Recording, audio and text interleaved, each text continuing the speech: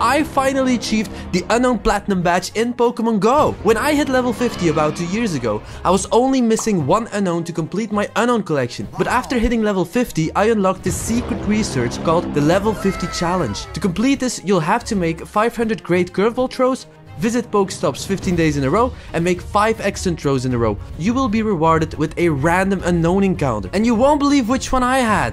Unown Z. This was the last one I needed, and that's how